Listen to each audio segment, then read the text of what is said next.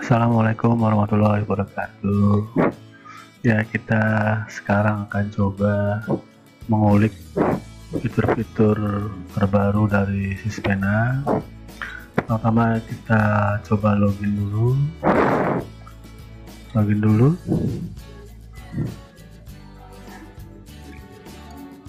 Kita cari NPSN dari lembaga yang lembaga kita lah otomatis sini saya ambil lembaga saya. PKP Prodika di copy saja. Lalu ke pas di sini. Lalu masukkan passwordnya.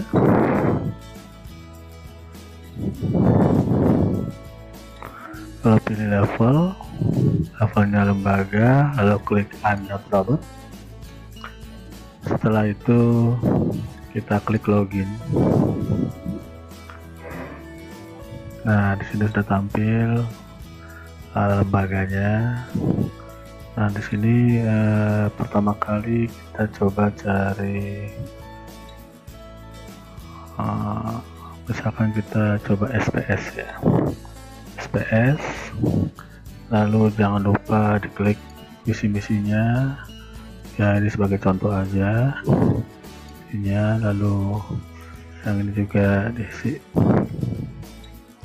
ya nah di sini sebenarnya ada perbedaan warna ya. Ini warna putih ini warna abu-abu. Backgroundnya kalau yang abu-abu itu tidak akan bisa dirubah. Karena ini kaitannya dengan dapodik. Nah, nah setelah kita isi lalu kita submit saja. Kita submit. Sudah.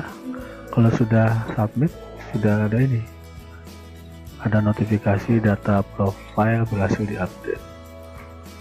Setelah ini kita tinggal lari ke pendaftaran. Kita klik pendaftaran. Nah, di sini akan muncul ya PKBM, SPS, di sana surat permohonan, ada SPTJN, legalitas lembaga, dokumen lampiran, foto pendukung dan input evaluasi diri.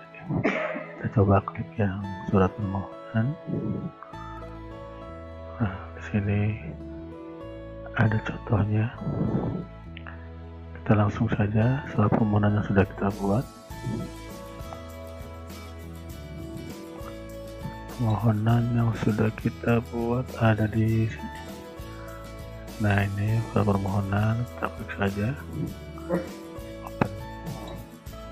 Jangan lupa kalau sudah keluar ini kita klik simpan nah otomatis di sini warna menjadi hijau.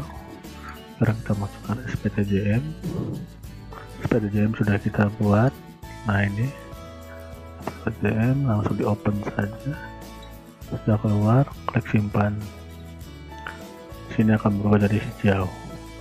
Hijau ini berarti sudah sukses mengupload file yang diminta. Sekarang kita klik dokumen lampiran Nah di sini uh, adalah lampiran yang harus diupload. Kita lihat di sini. Besar file kira-kira harus 2 MB setiap dokumen. 2 MB 2 MB 2 MB 2 MB 2 MB 2 MB 2 MB tipe filenya doc doc PDF kita contoh ambil yang ini. Ya kita ambil SKL atau STPPA boleh keluar di sini sekarang kita isi yang ini. Contoh saja ini ya tidak sama persis mungkin pakai yang ini boleh. Oke kita pakai yang ini ya hanya contoh saja.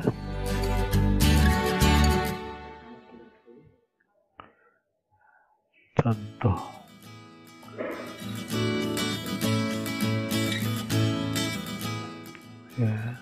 sekarang standar pembiayaan. Saya ini klik. Lalu klik ini contoh aja ini ya. Lalu kalau sudah di upload kita jangan lupa simpan. Nah di sini kelihatan masih proses. Tergantung besarnya. Pojok kiri ini. Kita tunggu saja nah sudah cepat sini nah kita lihat sudah terunggah terunggah nah ini ada yang gagal. Artinya mungkin filenya kebesaran. Kita coba lagi pakai ini deh. Ya. Lalu kita scale aja kebesaran. Ini kita simpan lagi sampai semuanya tuh hijau. Nah semua hijaunya berarti sudah oke okay. kita simpan. Kita balik-balik lagi ke pendaftaran. Nah ini udah hijau 4 sekarang kita coba pendukung pendukung. Nah ini masih kosong. Caranya ya kita klik aja upload foto ini. Kita klik sini ada foto ya. Foto ada di pictures Mardika ya ini foto-foto pendukung klik aja dua kali. Sini. Kalau sini nah, kalau sudah ada muncul tulisan-tulisan ini dari gambar yang kita upload kita klik kirim. Nah inilah foto yang sudah ada. Klik pendaftaran lagi. Kita tinggal isi input evaluasi diri.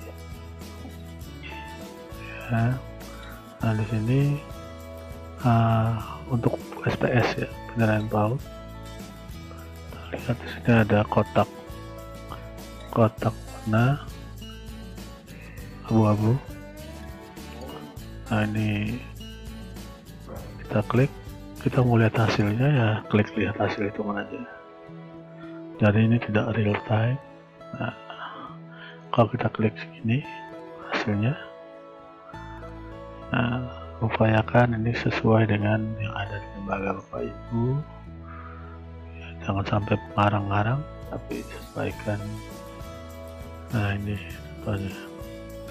Ya anggaplah kita sudah memenuhi ini semua. Ya, lanjut ke sini. Ini bulat kalau bulat itu berarti memilih satu saja. Mungkin ini tentang aja pencapaian Oke, coba kita lihat hasil hitungannya. Nah ini hasilnya bagus. Demikian seterusnya. Ini kotak berarti hanya karena kotak artinya itu bisa memilih semua. Kita klik. Hasil coklat ya. Nah atasnya bagus lalu di sini ada struktur kolom kita centang saja. Semuanya centang. Centang centang ini juga kalau ini berarti kalau tandanya bulat berarti artinya memilih. Ini bulat pilih saja. Bulat pilih bulat pilih bulat bulat lagi pilih. Ya ini tinggal klik klik saja cuman bapak ibu harus bisa melihat ini sesuaikan dengan lembaga yang bapak punya. Jangan mengarang-arang karena bapak ibu akan dimintai SPTJM surat pertanggungjawaban mutlak akan semua hal yang bapak input di sini nah ini ikut kotak. Kalau kotak ya berarti kan bisa diklik semua kalau memang itu ada. Sesuaikan saja dengan lembaga bapak kita klik terus. Sampai nah pilihan. Pilihan. Pilihan. Oh ini semua ya dan dan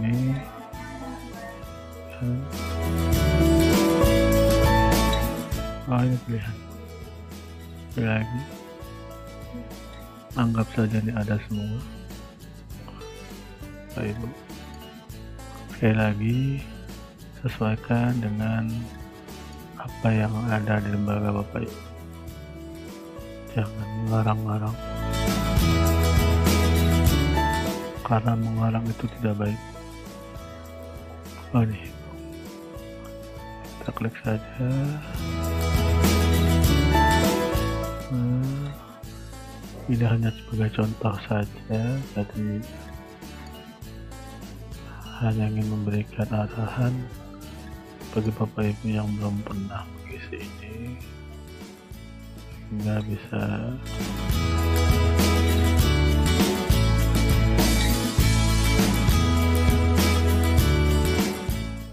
jadi ada gambaran. Jangan lupa bapak ibu untuk subscribe like dan komentar di bawah ini. Ya karena dengan like berarti bapak ibu mendukung program ini. Program sosialisasi spinal ya. Jadi pengajian ini sebenarnya Bapak Ibu nggak khawatir.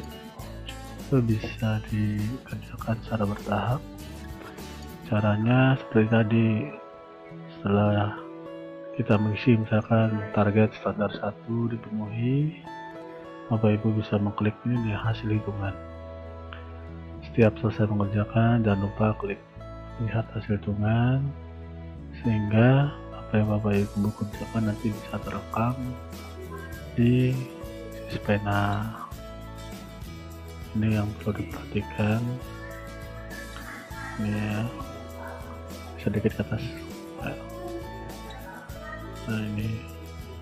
Kita klik hasil hitungan nah di sini hasil hitungannya 7849 kalau kita lihat hasil hitungan kita klik review jawaban oh ternyata ada temuan minor ini kedua satu satu ya. Ini masih dibolehkan ya karena minor ya apa-apa kita klik sini. Kalau udah klik selesai. Selesai. Lalu harusnya nah ini. Apakah anda yakin teman ada permintaan konfirmasi? Ya setuju saja lalu perhatikan. Harus apa namanya di sini sesuaikan dengan lembaga tadi ya bapak ibu yang sudah habis. Nah di sini uh, sudah ada tiga kali. Satu dua tiga. Kita minta konfirmasi. Kalau sudah benar-benar yakin klik OK. Ingat bapak ibu ya. Kalau sudah benar-benar yakin klik OK nah ini datanya berhasil disimpan. Jadi seperti itu pengisian spena selanjutnya adalah Bapak Ibu silakan logout klik di sini. Terima kasih. Assalamualaikum warahmatullahi wabarakatuh